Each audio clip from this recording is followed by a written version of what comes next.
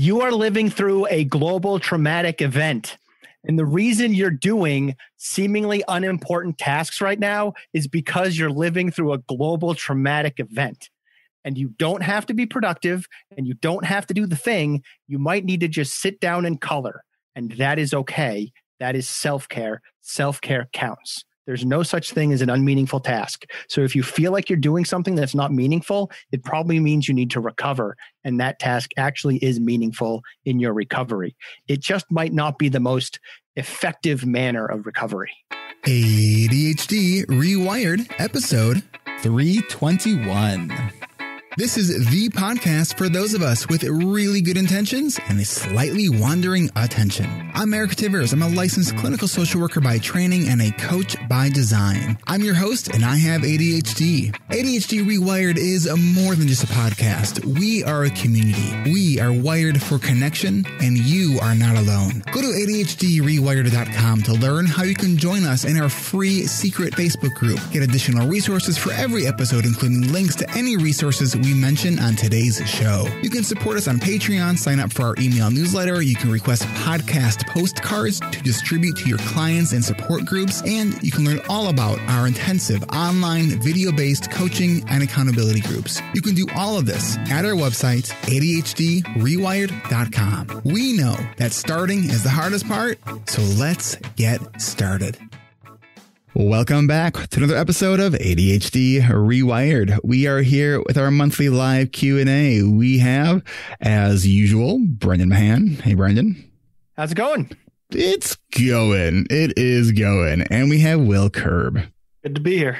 It is good that you are here. We are we are all here, but we might not all be there. We are now are we like a month into COVID? Yeah. so I think the my school's closed down the day after our last live Q and A. Time is a is a weird conceptual idea at this, this point. This is week five for me because. COVID hit. COVID hit at the same time that I launched the parent coaching groups, and I am in week five of the coaching groups. So, week five. yeah, you know it's interesting because we just started our uh, our uh, 20th season of, of coaching groups. And when people signed up, like COVID wasn't really a thing that like was affecting anybody. So, um, you know, fortunately, a lot of people are working from home and we're working from home even before. So it hasn't affected everyone that much. Uh, but it's definitely has and definitely in our alumni community and, and, and Facebook and just in the general ADHD community, it's definitely has uh, been, um, having a, a big impact. You know, I'm, I'm hopeful but also unsure if by the time this podcast comes out, if the whole like quarantine thing is gonna be like, oh man, thank God that's over. But I'm not sure. It might still be going on. Yeah. So can I share my my mildly hopeful perspective on Please. ADHD and co- and COVID? Mm-hmm. This is my perspective on ADHD and COVID that is positive, right? Because we can talk all day about how like everything is weird and everything is harder and all that stuff. I'm not going to argue any of that. I don't want to sound like I'm belittling anyone who is struggling right now. That's not what I mean. But uh, part of the challenge of COVID is that the expectations are unclear and things are uncertain and we're on shifting sands, right? Ladies and gentlemen of the ADHD community, um, we are almost always uncertain about what the expectations are and on shifting sands. So we're in some ways kind of built for this. like the discounting the executive functioning part and like schedules being thrown off and all that stuff. There is a layer for me at least where I'm like, oh, it's like constantly crisis mode and uh, that's kind of where I used to live all the time before I learned how to plan stuff. So I remember this. It does seem though that the one of the challenges is is that the our options of how to respond to this crisis are limited, and which mm-hmm. is what makes it so hard. Right. Um, I was talking this morning in uh, in our uh, alumni session that um, sometimes it kind of feels like I'm getting whiplash from like feeling like all right, I'm feeling hopeful and optimistic to being like uh, feel like I'm barely functioning, and like that was all about like you know, before 1030 this morning. Right. So it's, it, you know, my, my exercise routine is off. It is out the window. I, I'm not exercising. Um, you know, I was, I was like playing pickleball against the wall in my office. Um, yeah, but that's lost its novelty and I'm having a hard time doing that. Even though like I keep wearing shorts under my pants, like into the office with the intention of sweating. Um, that's, I yeah. imagine wearing shorts under your pants would make you sweat. but you know, it's, I mean, when I move, when I do anything that moves around for more than a minute, I sweat and then it takes me like an hour to cool off. Um, that's just how I, I'm built. Um, but no, it is, it, you know, I, I asked, uh, the group this morning, um, you know, to sort of looking at this through the lens of radical acceptance and being that this is our normal right now. So what is it that we can do to thrive, not just survive, but to thrive? Because I think if we focus on trying to just survive, we may fall short. But if we focus on thriving and we don't quite get there, we'll at least hopefully get past the, the surviving threshold. Um, so for, for, and also like I, I'm with you, but there's also a layer of like memes of ridiculous expectations and guilt floating around there. So I don't yep. want to not take a chance to poke in there for yep. a second. You don't need to learn Chinese. Yeah, you don't need to pick up a new hobby. If you don't pick up a new hobby right now, that doesn't mean that you that your excuse about not having the time is the reason why you just didn't care or whatever nonsense the meme says. Ladies and gentlemen, this is a traumatic experience for the entire world. We're yes. all living through, through a trauma. Yes. And there is such a thing as post traumatic growth, which is what Eric's talking about here and sometimes post traumatic growth is I made it through and I still feel okay about myself, the universe, and everybody else. That's still post traumatic growth. And that it's if that's what you got, that's what you got. And if you learn Chinese, fantastic. Good job. Way to learn Chinese. Mm-hmm. Um, and I want to point out um, if you're a parent, then the expectations are different. Like there's a lot of people out there who are 20, 25 years old, don't have kids, have limited responsibilities, who are like, apparently killing it and doing all kinds of cool stuff because they don't have anything else to do. But if you're a parent, you've got kids to navigate. You've got maybe a spouse to navigate. You've got a real career that you're trying to keep on the tracks. All of that stuff makes it harder. Yes. Yeah. Will, what's uh what's been your kind of experience? I mean, I just, yeah, I just remember like seeing some of those memes be like, I, I have less time now. Mm-hmm. This is Well, you know, and I, I, know that for me and every, um, you know, during the year, uh, in between coaching seasons, I always have th- three weeks where I, you know, I have nine hours of typically scheduled stuff that is not happening. So like those are my anchors for the, the week. And those three weeks that occur three times a year in between seasons are a struggle for me. And so right now, so many people's lives have turned into that unstructured time. You know, that, that idea of like, if you want something done, give it to a busy person, right? Like right now we are painfully not busy for a lot of us, which is really, really hard. Well, we also haven't, a lot of us haven't like gone like, Hey, let's reassess our goals for this time because where they were like, we're just kind of going in panic mode and being going like, okay, this is what we're going to do. And then it's like, but in the back of our head, we're also saying, I still want to do, you know, A, B, and C, even if the A, B, and C isn't reasonable to do anymore. Uh, so like, there's like, you know, I look at my calendar, I'm like, there's these things I just can't do. I have to be like, okay, that's not part of my goals for this quarter. This probably not this year. Yeah, I had uh, one of my goals, which I had last year, which I, I uh, extended to this year as well, was to uh, see um, at least a dozen live shows. That's not happening. I have an update. Yes. For those of you who have been here for a very long time, the Jurassic Park event that I bought tickets for a full year in advance was canceled due to COVID, and it should have happened like last week, but we didn't get to go. um, all right, let's. Uh, should we answer some questions here? Yeah, yeah.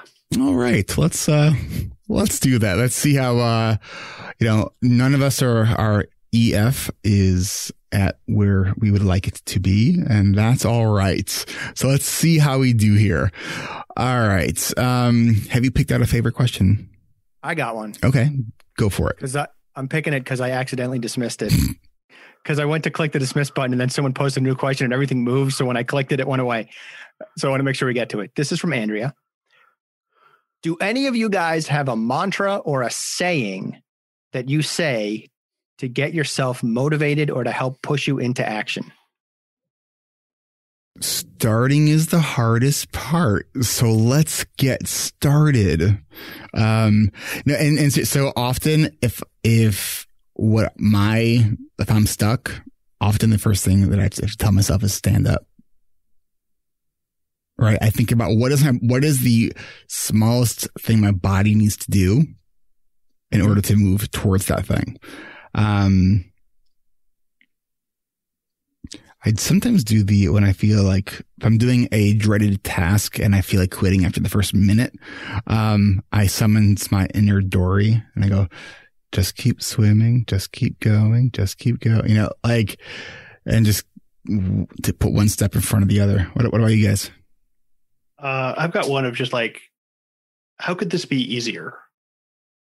Because then that kind of gives me like, oh, if I did this, then I wouldn't have to do these steps and stuff, you know, or you know, like um, it kind of sometimes it gets me going off in a slightly the wrong direction, but still like doing what I need to do. Where I'm like, oh, if I made like a kind of a template for this, then every time I do this, it would be easier.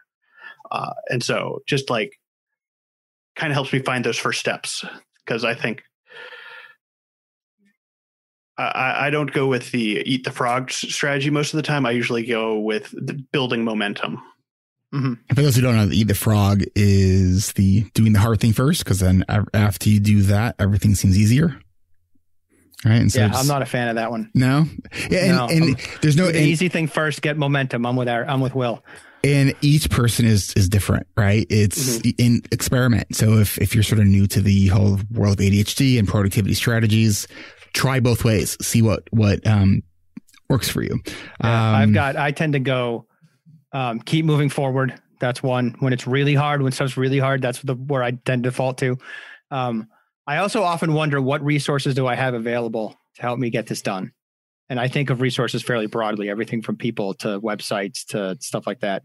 Um, and then the other two that I fall to, one is left over from high school, but still creeps up every now and then, which is never underestimate the power of the B, because my nickname in high school was B. um, and then every now and then, if I'm just really aggravated with myself, I'll start thinking, if you want to be worthy of your black belt, you got to do this. It doesn't even matter if it's martial arts related or physical related. It's just like a mentality thing. So I was wondering if we can uh, um, do a little crowdsourcing here. If people want to use the chat and say if they have a mantra that they use, uh, throw that in the chat and we can share uh, some of those.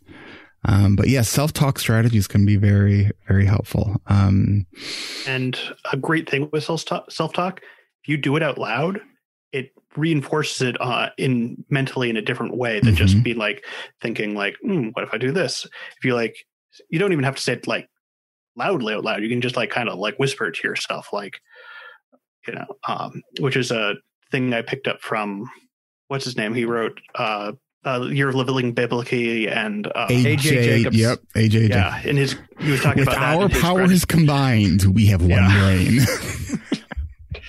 uh, but yeah, he was writing about like in his, he wrote a book on gratitude. and He talked about yeah, use, doing gratitude out loud rather than just writing it down.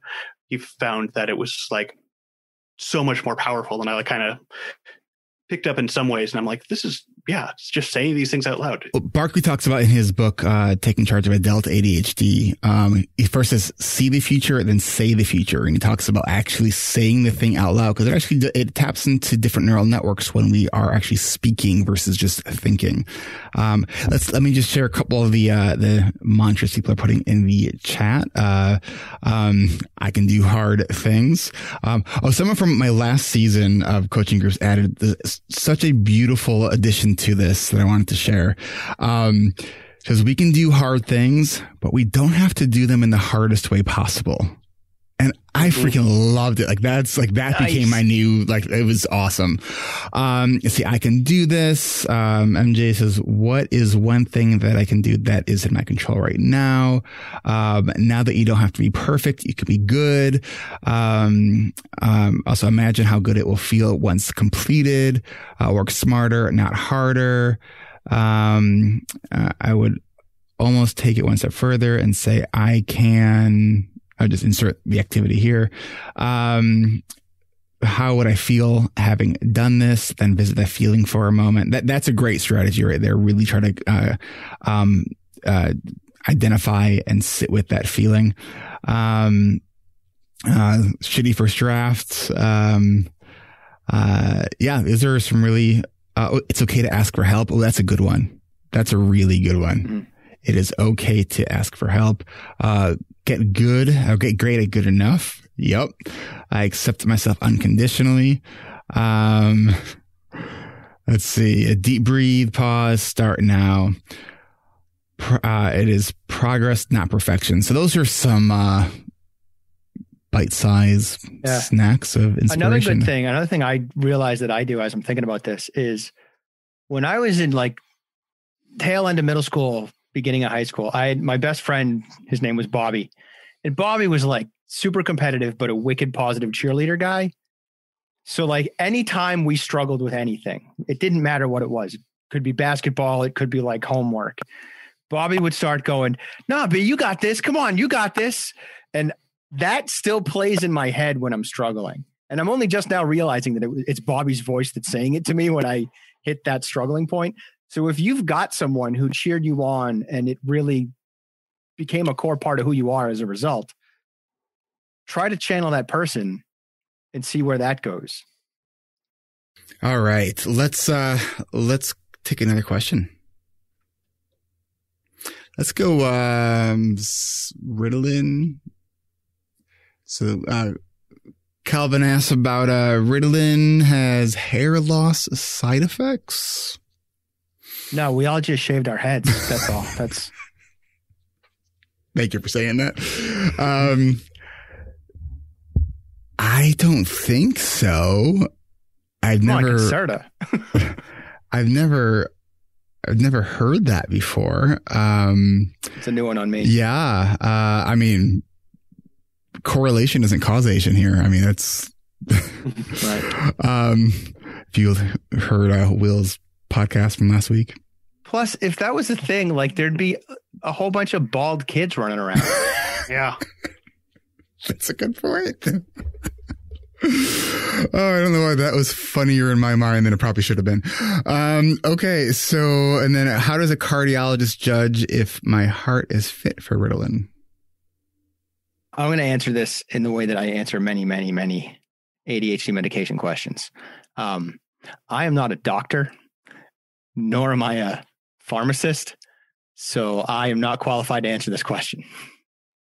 They will take a um do a um I always for like my my acronyms of tests EKG EEG e- mm-hmm. yeah.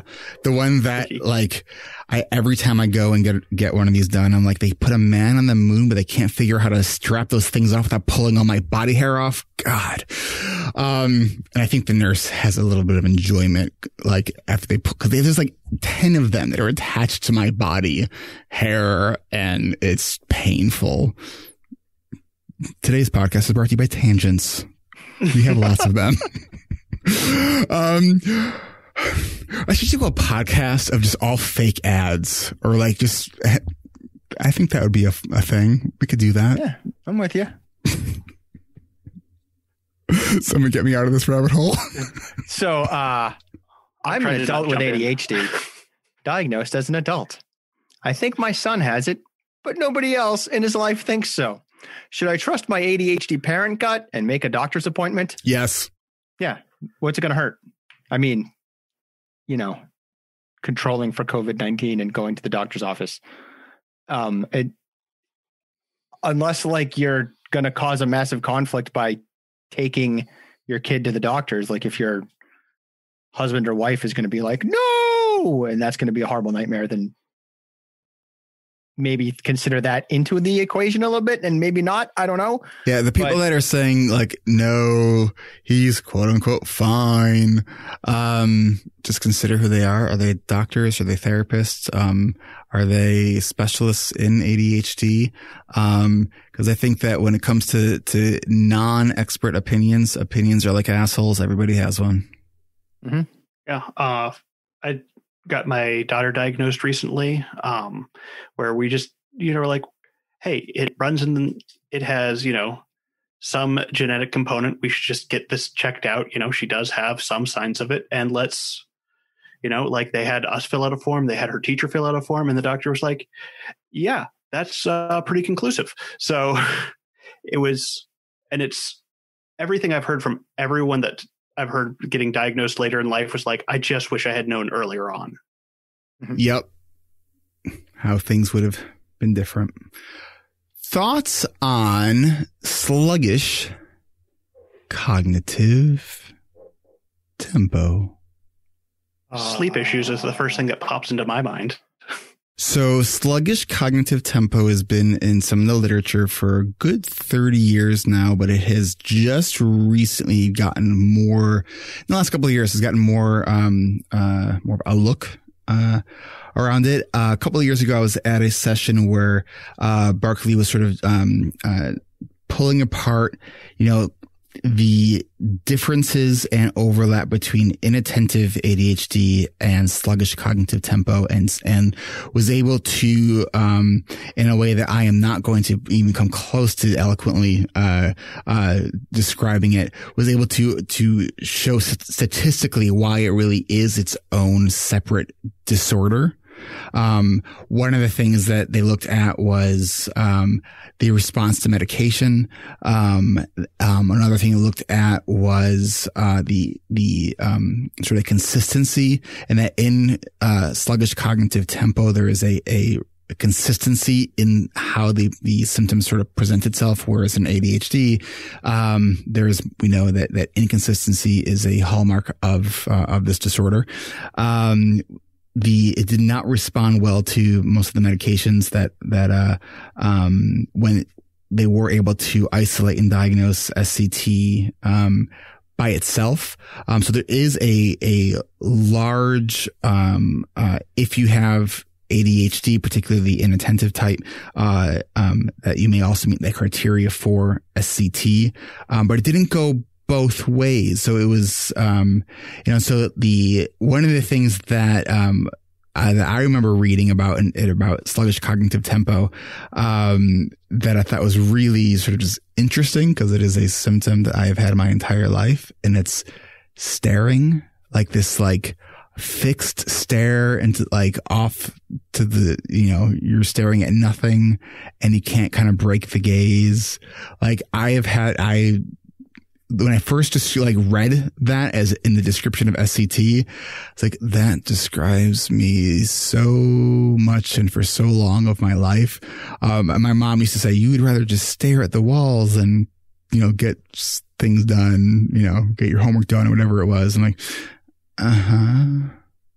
So, um, yeah, it's just, it's a slow arousal. Um, it doesn't mean that you're not intelligent. It's just more of an activation, uh, uh, issue.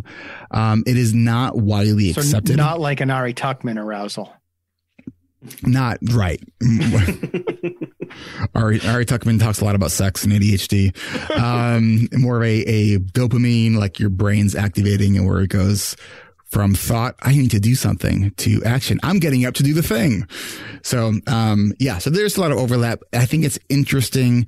Um, from a treatment perspective because it's possible that you're looking at um, something that if maybe you're not having a good treatment response after trying a lot of different medications, maybe there is SCT, but that's not in the DSM. So that's also another sort of uh, um, confounding variable for for treatment. Um, but I think anything that we can do to help understand our the experience of our lives, I think is helpful.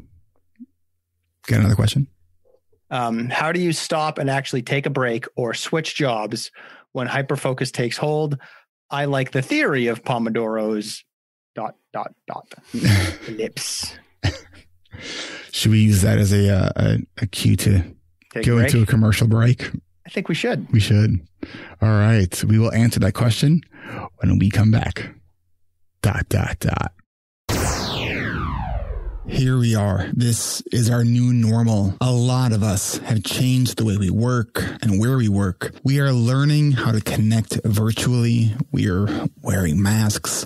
And sometimes it can be a struggle to find a space just for ourselves to breathe, to think, and to grow. When I opened the alumni membership community for our coaching group grads two years ago, I never imagined how much of a lifeline that community would turn out to be for so many of our members. And if you've been a member of one of our coaching groups, we're here for you. Just send an email to support at ADHDrewired.com with the subject line alumni, and uh, we'll send you a link where you can join us in the membership community for one month free. Since 2014, we've been building online communities that are safe spaces for adults with ADHD to learn and to grow and to connect. People like you and me are working together to support each other to live the best life we can living with ADHD. Whether you're new to the podcast or even listening for years, we really are here for you and we really do understand what you're going through. Having ADHD can be a struggle. ADHD Rewired's coaching and accountability groups are here to lessen that struggle. We meet three times a week for 10 weeks, and there is support available after those 10 weeks when you join our membership community so many people who have signed up for these groups tell me that they thought about joining for years. And so many have also said they wish they hadn't waited so long. Go to coachingrewired.com and click on the big blue button. We are sending out a save the date email this week for our registration kickoff event on May 28th. This event is by invitation only. Come experience the power of ADHD rewired coaching because here you belong. The extreme accountability of this group and the possibility of continued support after the program appealed to me. I had no idea I would come to appreciate and care about and rely on a group of 14 strangers like I did. The structure was just right, and the moments where we went beyond the structure and the boundaries were just as great. If you're thinking about joining this group, don't hesitate whatever big or small thing you come looking for, you will leave with so much more. You will leave with more than skills, but with strength. This has changed my life in so many ways. I can't even capture that in words.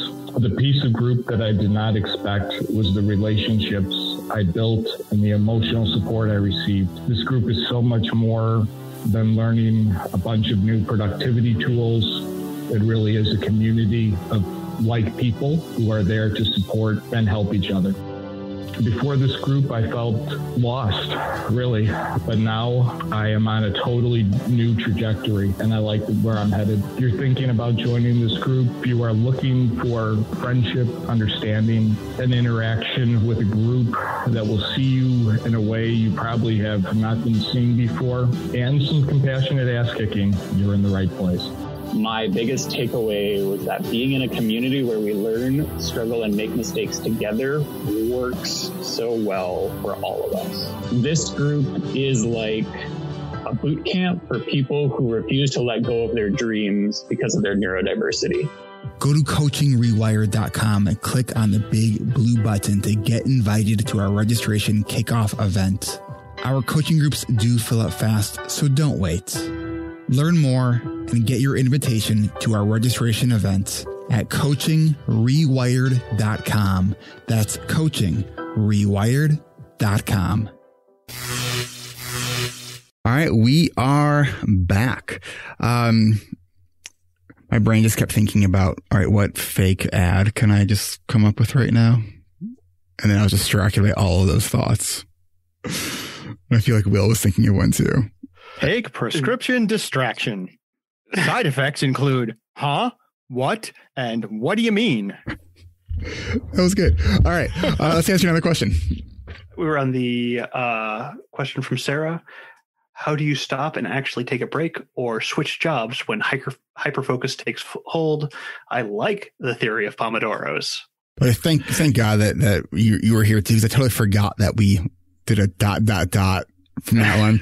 All right, I was with you. I'll tell you all, with our powers combined. All right, who wants it? Well, I will say one thing that I found about Pomodoros is I do not do well with working in the 25 minute increments. I do well working in like 50 minute increments or, Five-o? Oh? you know, yeah, do longer increments. But because when I try and do Pomodoros, I get, get up and I get distracted or I'd like, I want to work through it because I'm finally in the groove of working. If I do a longer session with planned breaks, it works better. And also, um, great way to make sure you take breaks drink lots of water you will need to pee you will need to get up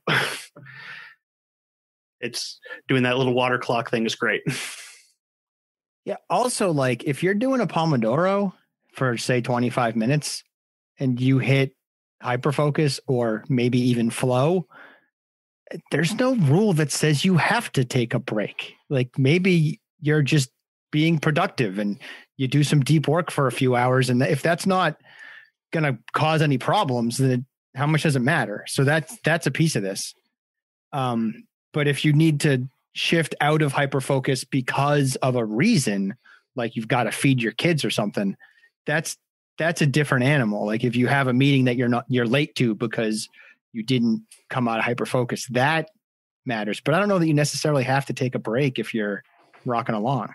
I, think it's important too to do sort of sparse out the differences between flow and hyperfocus because there's there you know there's a lot of similarity to it, but I think one of the big differences is hyperfocus. There is an awareness of needing to shift and an inability to do so.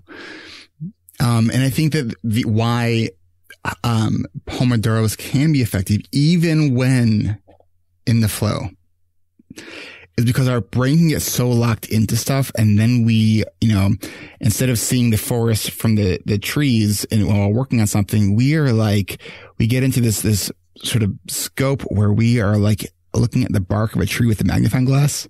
If we don't sort of just take a few minutes to like step away from what we're working on and then coming back to it. Um, and breaks can literally be like, all right, I'm going to take a break to empty the garbage and then I'm going to come back to work right? Um, I really discourage people from actually getting involved in something during those five minute Pomodoro breaks. Um, but I think the, the actual like 25 minute, um, uh, I literally just got distracted by a squirrel outside my window. It happens all the time. Like it's, it's, You're such a cliche. it's, it's- I'm, I'm like a bad meme here. I mean, it's, and Will, sometimes I, I did I ever tell you that I saw a uh, a um a squirrel jump onto my screen with a scone in its mouth that it pulled out from the, the trash can. Yeah, I was uh, I was like, man, I couldn't get my camera fast enough because that was amazing. My favorite wildlife moment was I was doing a workshop and it, I hit like a good pause moment where everyone's quiet and sort of taking in what I said thing. And in the background,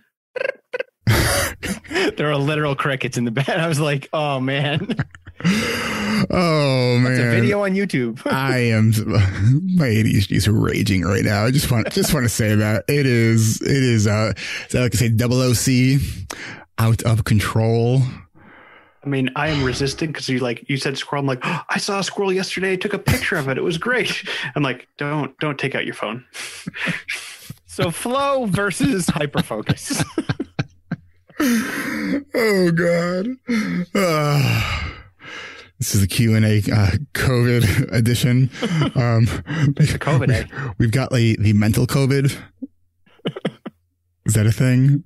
Oh, sure, yeah, Sure. just silly. All right. So yeah, um, being variable on the time. I mean, like with all strategies, experiment. Like if you're experimenting with, with stuff and it's not working, then try another experiment. You know, the, the 25 minute rule is not a hard, fast rule. Some people do 15, some people do 50, right? Um, I know for me, when I do, uh, Pomodoros, I can go about somewhere between four to six Pomodoros. So in the traditional Pomodoro sense, it's, you know, four Pomodoros with 25 minutes, then a five minute break. And then you take a longer, uh, after the fourth one, you take a longer, uh, break.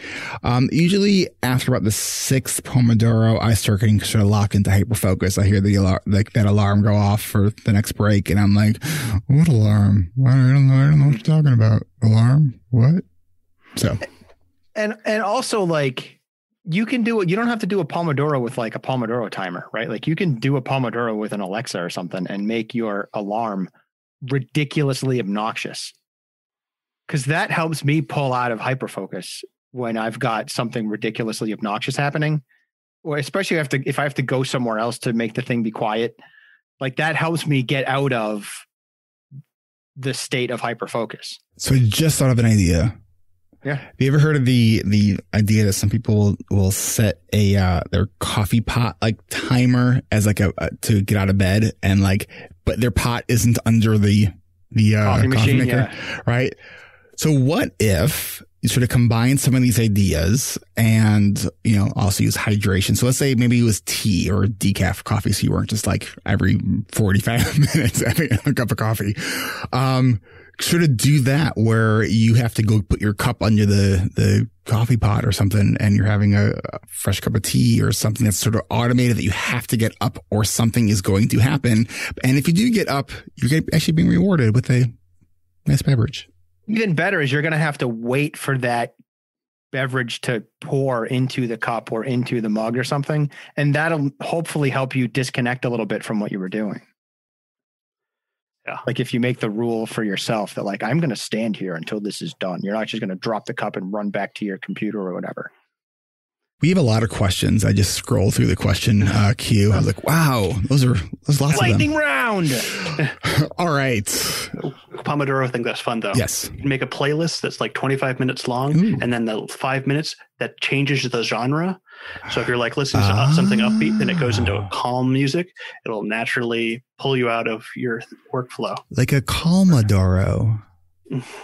Nice. This podcast is brought to you by Bad Dad Jokes. This is how I roll. E Y E roll. Get it? Yeah. Next question. I want to use this interim time to take a Coursera course, but I'm struggling with zero structure. Tips? Thoughts? Um, you can create your own structure if that is a thing that you are able to do, like book it in your calendar, set reminders, set timers, use the Pomodoro technique, but don't get trapped in it. Ask on Facebook, like, hey, did anyone want to take this course with me? Because then if you have someone taking it with you, you're like, hey, I want to like do X amount of work by Friday, and then we'll meet up and talk about what we learned in the course. Also, um, if you share your screen on Zoom, you can share your audio as well. So the two of you could take the course. One of you could hop on Zoom, share their screen and their audio, and you can take the course together over Zoom. Quick pro tip if it is your Zoom account, because now Zoom is disabling share screen. You have to make the person you're sharing that you're having the meeting with a co-host that will allow them to share the screen. Yeah. That could mess up my coaching groups. I share my screen a lot during the coaching groups. No, you could share your screen. It's when somebody else wants to share their screen. oh, yeah, yeah, yeah. Yeah. Okay. You can always take back the uh, the co-host role as well. All right, next uh next and, and Vanessa, you could also use the um uh alumni community as well. So I like I do like that idea of seeing who else wants to take the course with you. I think that's a really really powerful idea. Yeah. And body double your work. Like even if someone's doing something different, you Adult can still study the body, hall. Yep. adult study hall it. All right, next question. Do you have a favorite recommended fully integrated ADHD life management apps? Fully integrated equals calendar, hierarch- hierarchical project, to do lists, flexible structure. Ooh, Uh, ooh, ooh, no. I don't. Yeah, no, I don't. I use Notion for that, but I have not been able to open it at all. The my EF has completely failed me while I was during this for keeping up with that. Yeah, so there is no perfect app. Uh, sorry. Um, it will never be created because even if it is, you're going to get bored of it after a while or they're going to stop updating it or just something about it. So look for function over like form. You know, it's, you need a calendar. You need, you need something to capture your tasks. Um, but there is, you know, I think that some, it- it's sort of like the idea of a washer and dryer in one. Yes, they exist. And in theory, it's amazing. But in practice, like they're awful. I've read all the reviews because I just think it's a really, like, I, I want one, Except when after I read the reviews, they say, nope, this is a bad idea. Um, they don't work very well. Cool. Yep. Sorry. I wish I could give you better news. How do you determine what is the most important thing you need to do that day rather than bouncing around from one little, usually unmeaningful task to another? Um, I roll a die. That seems unlikely. Sometimes, sometimes. No, I mean sometimes. Uh, like when when you're like, because I know I have been in the like, what do I do? What do I do? What do I, like something is better than nothing. If you are spinning your wheels in indecision, you know, put it on one of those like game spinner wheels and spin, and that's your task. Right now, that's not the ideal, but that is something that if you're stuck and can't decide, go with that. Um, share your list with somebody else and talk it through with them. Sometimes just by doing that, you'll realize what you need to do. The other, um, the, when my executive function is, uh, working at its, uh, you know, ideal capacity, um, using that one thing question, uh, that focusing question, which is what is the one thing that I could do such by doing it would make everything else easier or potentially unnecessary. So thinking about what could you do that will have a sort of downstream domino effect that will make other things easier. Um, that's typically where I would start. Um, you know, it's, I know we have this tendency to respond to the fires, but the problem is our brain has a lot of false alarms for fires. Um, so I think it's usually helpful for us to sort of ignore those alarms Thank you for answering that because you gave me time to think and I totally changed my answer and perspective on the question. Um, you are living through a global traumatic event. And the reason you're doing seemingly unimportant tasks right now is because you're living through a global traumatic event. And you don't have to be productive and you don't have to do the thing. You might need to just sit down and color. And that is okay. That is self care. Self care counts. There's no such thing as an unmeaningful task. So if you feel like you're doing something that's not meaningful, it probably means you need to recover. And that task actually is meaningful in your recovery. It just might not be the most effective manner of recovery. MJ is super popular in the chat right now, so I feel like we should hook her up with having one of her questions read. Um, I bet MJ nutrition. will be willing to uh, to come on live. All right, we're going to allow MJ to talk. Hello, MJ. Hello, hello. Um, so, uh, my question, out of my own curiosity, is because you have families. Um, how are you all navigating food and nutrition at home? Because now there's no school lunches. You're not packing those lunches or anything like that. So I'm wondering how that's impacting you at home. Um, and I feel like that would add value to people in the chat who do have families and aren't packing those lunches and stuff anymore. I just want to say how kind it is that MJ asked this question because she doesn't even have kids. She just she's asking. She's the voice of others. Oh, that was very kind of you. Yeah, I'm just I'm very curious. Well, um, we actually had a, a, conversation about this this morning in our alumni session and talking about um, how it is been challenging getting the foods that I'm, uh, that we typically get. And I've been doing a lot of the ordering stuff online, but a lot of the stuff I can't always get. Um, and so it's been challenging. So I've had to look at different ways of thinking about how I'm ordering food and ordering larger supplies and quantities of certain things and having to sort of accept that there may be days where I'm not going to get to have my like fresh raw vegetables that I eat almost every day for lunch. Um, and it's frustrating, but, um, I think acceptance around it and, and figuring out ways to adapt is, I mean, I don't know. The other strategy is just getting frustrated and that doesn't help because I'm not going to stores. I'm I'm avoiding stores. Fair enough. What about you guys? This morning, my kids, uh, I was making breakfast and they're like, "What do you want?" And I had one that asked for macaroni and cheese and cantaloupe, and the other asked for chips and salsa. So, uh, that's the best breakfast ever. I was just like, "Well, I guess this is what we're doing." Uh, and we're out of out of salsa, so instead he ate graham crackers and guacamole together. It's his one of his favorites. But your kid rules. Well, I think you rule for allowing that to happen. uh, but yeah, it's a lot about yeah, just accept, be like, okay, we're just gonna roll with this. We're gonna let these things happen, um, and being like, this is not forever. Uh, giving some a big thing for like packing since we're not doing pack like we're like okay my wife's like okay we're just going to do like a soup and sandwich for lunch every day you know and that'll just be what we do uh come lunchtime and that's really helpful to just kind of have like kind of a little bit of structure of how we're going to be doing lunches deli meat freezes so mm-hmm. if you mm-hmm. can go get like a ton of deli meat and just throw it in the freezer mm-hmm.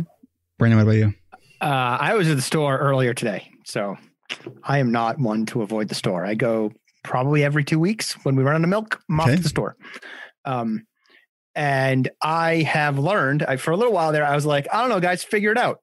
And it, that that is not a good plan because as they figure it out, they don't eat the best food in terms of choices, and that has played out emotionally for them. So I'm changing the plan, and I am making more of an effort, and so is my wife as well, depending on who's available when, to make them lunch, like cut up the apples, make the peanut butter and jelly sandwich, make them breakfast, that kind of stuff. One thing that has not changed is every Sunday I make a ton of pancakes, like a crazy amount of pancakes. The only difference is now I make like two batches instead of one batch. So it's a double crazy amount. And I was doing it before. So I had, because you can stick them in the fridge and then there's pancakes for the rest of the week. And I didn't have huh. to think about breakfast. Right. Um, and I make like unnecessarily complicated pancakes. Like, like I put, I my pancakes are made by whatever pan good quality pancake mix I can find, like either Trader Joe's or there's like a Kodiak, Kodiak yeah. protein thing. Yep. So that and uh, so it's got like eggs and milk and stuff in it. I don't use water; I use milk. Um, and then I add in oatmeal a little bit, and I add in um, flaxseed, flax, not flax seeds, but flax, like ground flax, um, and pro- vanilla flavored protein powder and chocolate chips because the chocolate chips get them to eat it. and it also like there's some fat in there to kind of yeah make them feel full. So my pancakes are like no joke pancakes.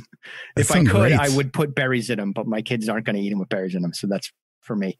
Um, but like the, each pancake is kind of a meal all by itself.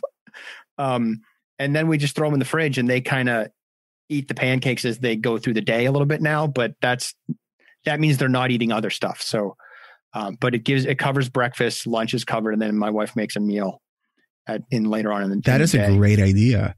Yeah, my guys are 11 for the people who are asking. Kodiak makes these frozen waffles that I like, the high protein waffles, mm-hmm. but they, I don't know if they discontinued it or I just can't get it anywhere in my area, but the dark chocolate, like they broke my heart because I loved that waffle and I can't find it anywhere. And so I was thinking maybe I can get the, the, the mix and make my own mm-hmm. dark chocolate ones. Yep. BJ's has got, they don't have flour, but they have Kodiak pancake mix, Kodiak high protein powder pancake mix. It's great, great tip. We've been doing that for like two years and it's just now there's just more of them. And I think also, I mean, I'm, I am someone who with my food, I don't have a lot of variety in my food, but that's because I have digestive issues. And so like I stick to what I know I can eat. Um, and so there's a freedom in that. And so I would encourage people to just maybe accept that you're not going to have as much variety and just get more of the stuff that's just easy. Um, go for easy. And and also like if you've got kids that you're trying to expand their horizons a little bit, like buy some weird stuff and just tell them. Be like, this is what they had, guys. Yep. We're totally sort of stuck agreed. with this, and and maybe you can expand their horizons a little bit, just to try it, just as like, like uh, graham stuck. crackers and guacamole. Graham crackers and guacamole. Yeah, I mean, a great way to get them to ex- explore things too is just be like try new foods just be like explore the food. Smell it. Touch it. Describe it before you actually have to put it in your mouth. And be like you don't even actually have to put it in your mouth. Just mm-hmm. uh the best part about that is right now with covid-19 no one's going to see you listening to your pancake. But yeah but you can tell them okay hey if you slap that on the table what sound does it make? Kids are going to be interested in that kind of stuff and it makes them interested in the food um, and and circling back real quick to something I just noticed in the comments, there's uh Sarah's got a really good point that right now anybody with a history of food insecurity and and or attachment trauma stuff in that area, yeah, this is going to be a time that's hard for them, and and we should validate that. Absolutely. And I was actually feeling, you know, it's it's nowhere near what what people who do have regular food insecurity uh, go through, but it definitely has given me a lot of empathy for that experience, not being able to get uh, certain things that I'm used to having in my my diet every day. All right, let's take a uh, really quick break and let's come back and try to answer some more of these questions. We will be right back. This podcast is brought to you by our patrons over at patreon.com slash ADHD rewired. Did you know that if you become a patron at the $25 a month level, you can join me and a small group of other patrons for an hour of coaching once a month? Coaching with me and some of your peers once a month is a great way to get some coaching, especially if you're unable to invest in our coaching and accountability groups. Our next group coaching call is on Tuesday, May 26th at 1 p.m. Pacific, 4 p.m. Eastern.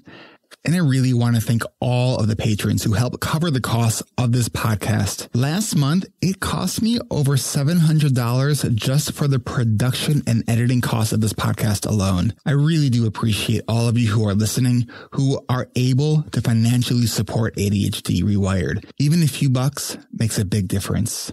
Sean S. made a big difference this week. He joined us at the $10 a month level. And at that level, he'll be able to hear the audio from some of our patron only coaching calls. Thank you so much for your support.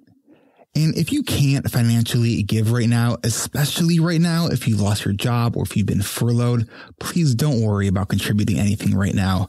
And also, if you are a patron and your financial situation has changed due to COVID-19, if you need to decrease your pledge or pause your contribution until things pick up, please don't hesitate to do so. Take care of what you need to do. Ratings and reviews on Apple Podcasts and sharing the podcast are other great non-monetary ways you can show your support for ADHD Rewired. All of your support is appreciated. If you can give a dollar, 10 or a hundred or more, thank you for showing your support to ADHD Rewired.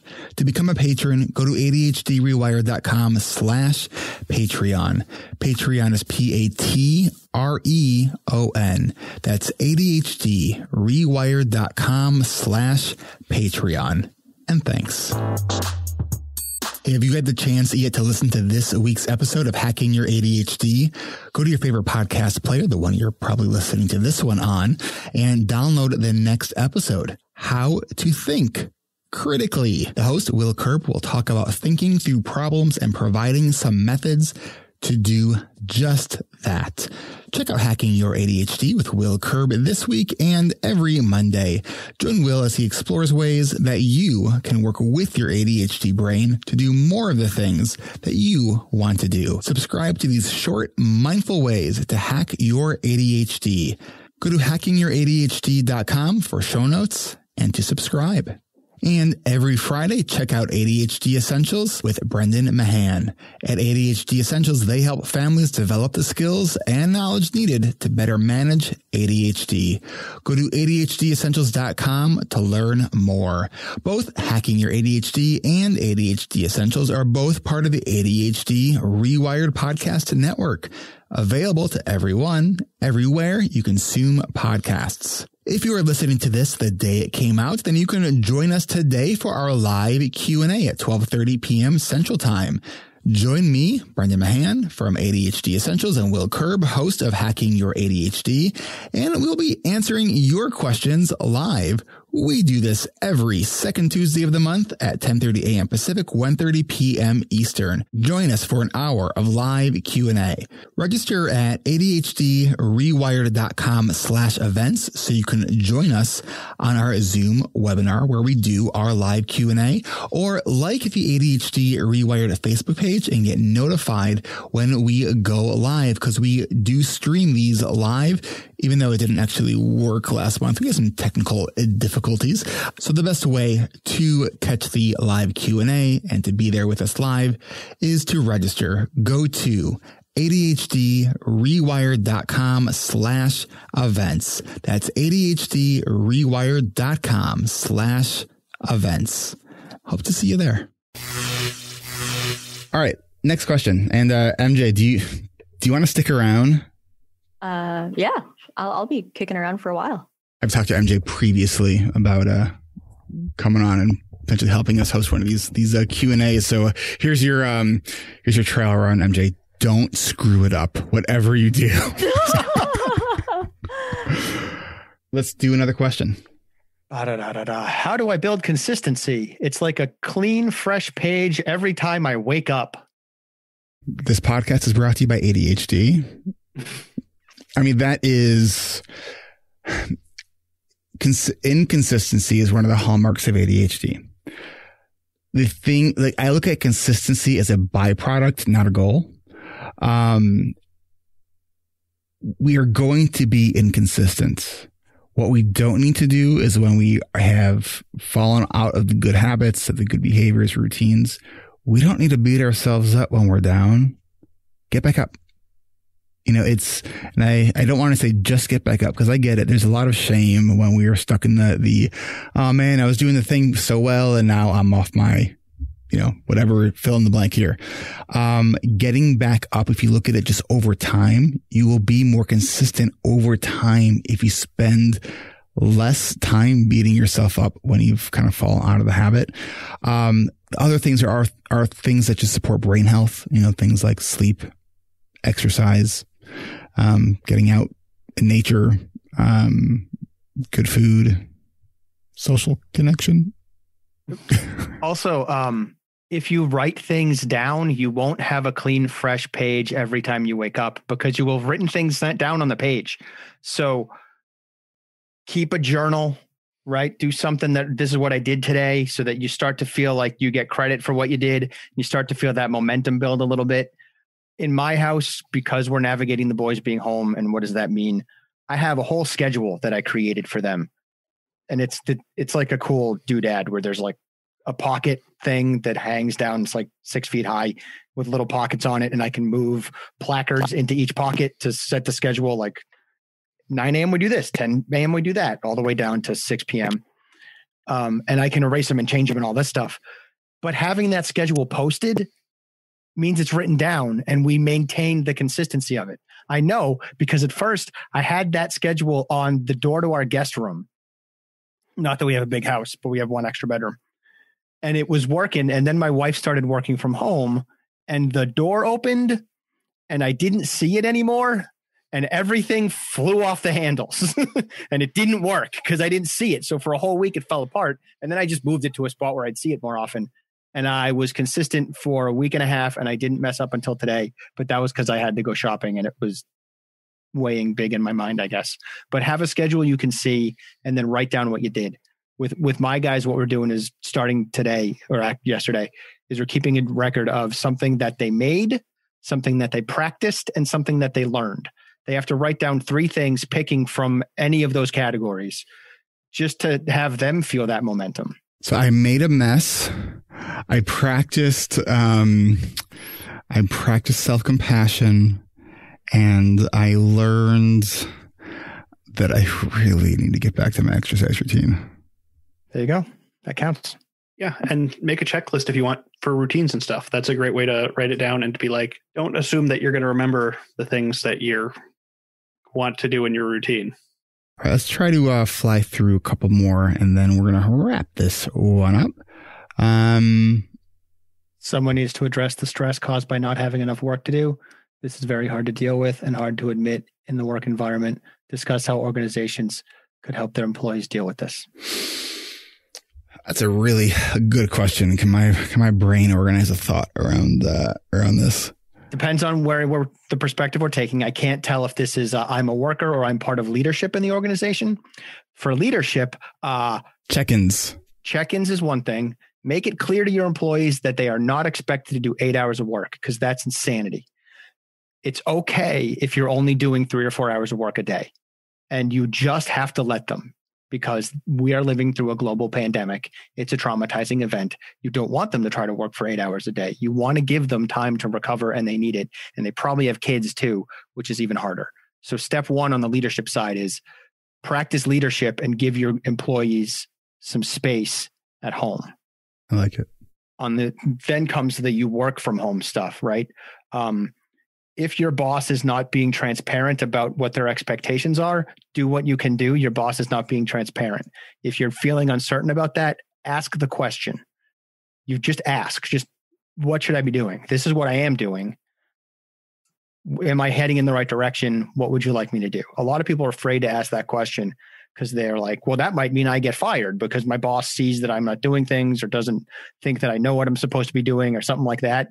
Um, if your company is in dire straits financially, they're going to let you go regardless. And if you're being proactive around what to do for your boss, what you're saying to them is, I value my job here and I value being a contributor to this job, to this company. So please help me contribute more effectively. That's not going to get you fired, even though it feels like a scary question to ask. Just ask it. And admittedly, you should frame it around, I'm doing X, Y, and Z am I heading in the right direction as opposed to, I don't know what to do. Because if you roll in and you're like, I got nothing, what should I do? That might look bad. But if you can say what you're doing and then ask if that's a, if you're going the right way, you'll be in better, better off. Not that I've been thinking about this stuff a lot because my wife got a new job two weeks ago. Could, but she did, and that that's true. All right, let's um let's see if we can answer just a couple more and then we're to wrap this one up. Um, let's look at Cheryl's question. Uh, my issue is when people speak too fast or don't speak with specificity.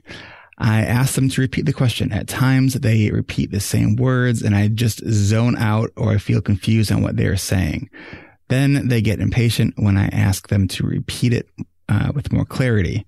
I think I have an auditory processing disorder. I've never been diagnosed for that. And when I was tested by a doctor for ADHD, uh, and they said they are not ruling it out. Well, I know this is something that, that, um, can be very challenging. It's something that, uh, um, I definitely unmedicated very much relate to um like the whole like charlie brown like want want want want want like when i'm not medicated and i'm just like not on my game. Like that's sometimes how it feels when someone's talking to me. Like i know those are words coming out of your mouth. I just have no idea what you just said.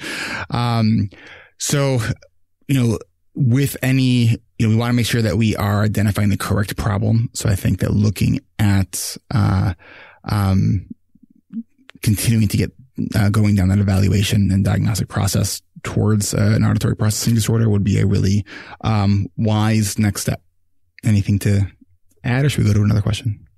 Uh, just two things. Yeah, I've definitely found listening to people repeat something, my brain's like, I'm just going to pick up on the part that I didn't hear before, and then I missed that part. Uh, so things that can help with that are asking them to say it in a different way uh, or instead of just repeating it, or having like a fidget where the, your brain is kind of doing the playing with it for a little bit while they're talking, so that you can keep focused on on what they're actually saying. I also like to say, I feel like I missed something. Are you saying? And then I restate what I got. And that's something you can practice with with people. That that skill in particular. MJ, what what are your thoughts? Um, well, I was just thinking about um, how I used to be kind of the front face of the company that I used to work for. And that's definitely something that I had struggled with. And I found um, before medication, it was hard to focus on even just a client asking me a question because I was so focused on looking like I was engaged with them. Whereas if I looked away and did something else, then I could actually process what they were saying. I don't know if that's a thing, but it's something about having to appear engaged that was more distracting and took away from what somebody is asking of me if that makes any sense. I don't know if anybody can relate to that but oh it's a tough one yeah. to navigate. Thanks jay no problem. All right let's uh i think we have time for like one more. Yeah i got you. Do you have any advice to parents who are struggling to figure out distance learning for their kids while also trying to come to terms with all that is going on both globally and in our own homes? My husband and I are both now expected to teach from home.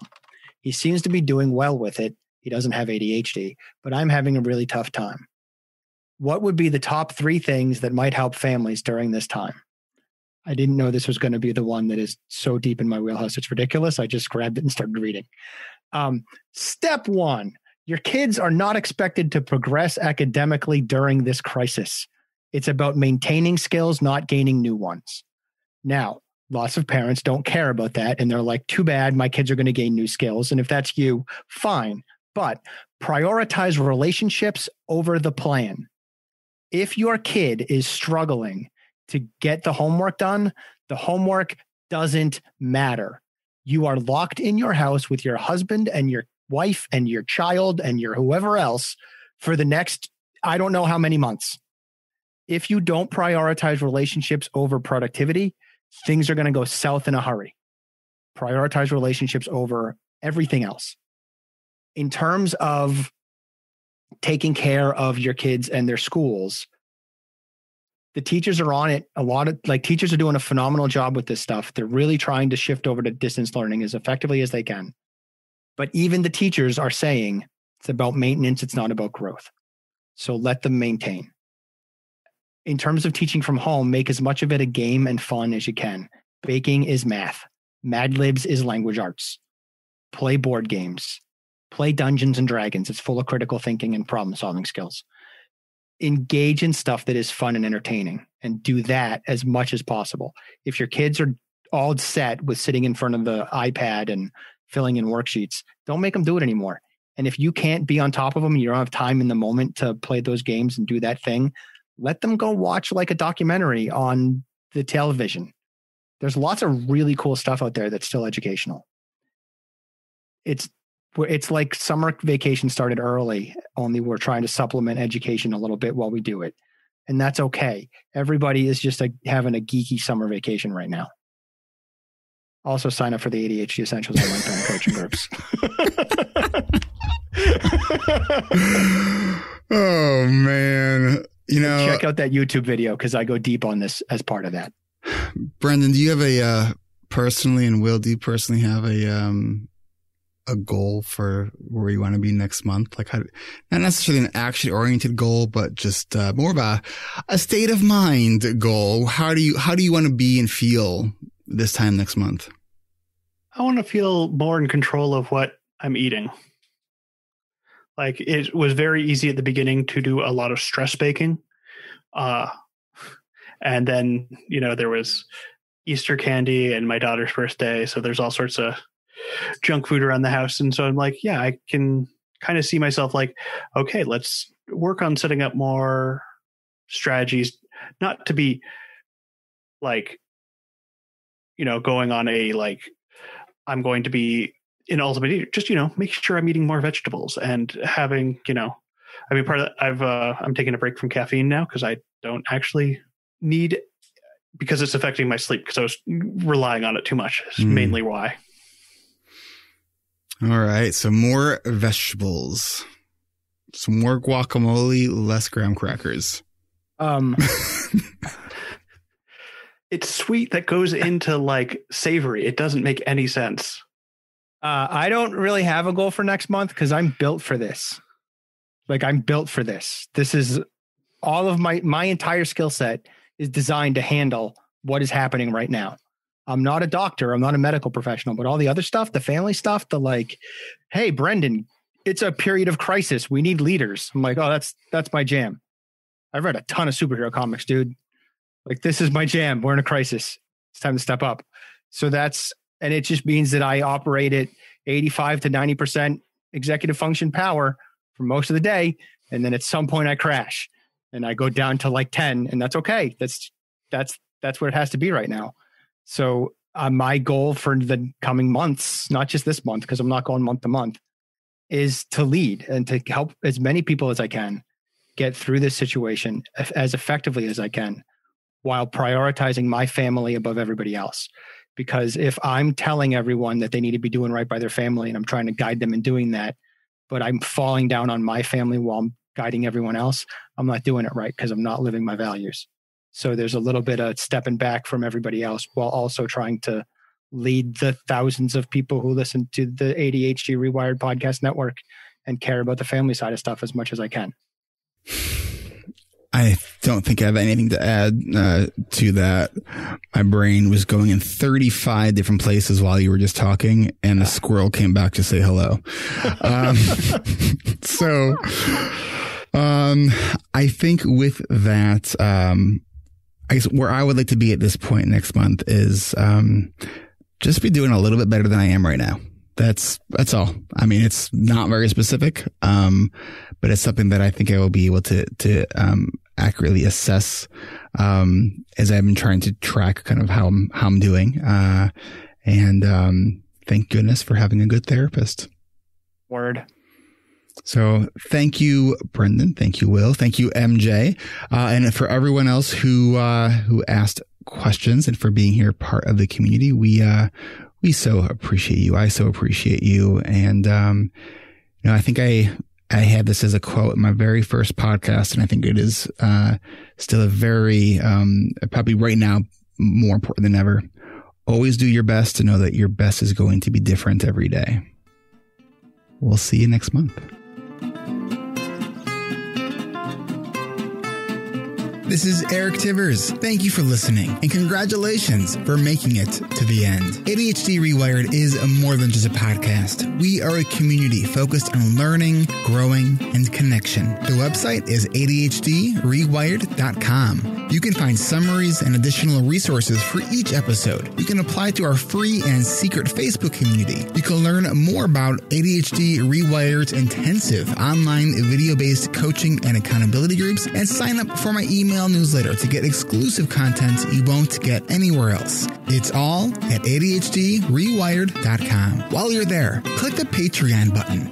If you're a regular listener and you're still listening to my voice, consider making a monthly contribution by becoming a patron through our Patreon page. If you are able to financially support my work, it would mean a lot. This show is free to listeners, but it is not free to produce. And patrons get really cool perks. You can follow me on Twitter at Eric Tivers. You can like our Facebook page at facebook.com slash ADHD Rewired. If you're a coach, therapist, or related professional, connect with me on LinkedIn at linkedin.com slash Eric Tivers. You can also subscribe to ADHD Rewired on YouTube. And you can subscribe to ADHD Rewired on YouTube and see select interviews and some other videos I've posted. Podcasts change lives. You can make a difference in someone's life by spreading the word about this podcast.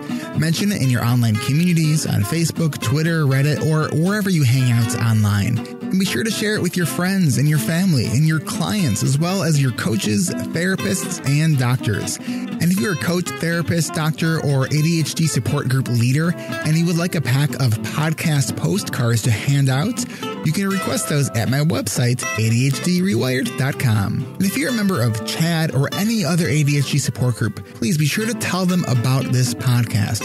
You can even show them how to download it on their phone. You know, you might be the person that turns somebody on to a podcast for the very first time. And if you really love this episode, please consider hitting share on your podcast player. I'm only one person, and I count on you to help me spread the message. One of the biggest things that you can do to support this podcast and to help other people discover it is to leave an honest rating and review on Apple Podcasts, uh, Stitcher, or any other podcast app that accepts ratings and reviews. And don't forget to hit subscribe on this podcast on your podcast app so new episodes are automatically pushed to your favorite podcast app. Looking for more ways to listen and learn? Get a free audiobook and a 30-day free trial at audibletrial.com slash ADHD rewired. Not sure where to start? In no particular order. Check out Atomic Habits by James Clear, The Body Keeps Score by Bessel van der Kolk, 10% Happier, and Meditation for Fidgety Skeptics. These are both by Dan Harris. Change Your Questions and Change Your Life by Marilee G. Adams. The One Thing by Gary Keller and Jay Papasan. Procrastinate on Purpose by Rory Vaden. The Four Tendencies by Gretchen Rubin. Do you have trouble asking for help? Listen to The Art of Asking by Amanda Palmer. It's one of the best produced audiobooks I've ever heard. If you're looking for something a little bit more, say, magical, I unexpectedly fell in love with the Harry Potter series. and I don't usually listen to those kinds of books, and I loved it. And of course, if you haven't yet boarded the Brene Brown bus yet, check out Brene Brown's books, starting with The Gifts of Imperfection, Daring Greatly, Rising Strong, The Power of Vulnerability, and if you're an entrepreneur or a leader in any capacity, check out her 2018 book, Dare to Lead. And Brene still is my most wanted guest, so if you know Brene, and you would be so kind to make that connection for me, I would be really, really grateful. You know who else I would like to have on the show? You. Click the podcast tab at ADHDrewired.com and then click the Be a Guest button at the top of that page and schedule a 15 minute pre interview. This is Eric Tivers reminding you to keep learning, keep growing, and keep connecting. Self care is not selfish, and no matter what gets done or doesn't get done, at the end of the day, you are still enough. And no matter how hard it feels, we can do hard things. Thanks for listening. I'll catch you next week.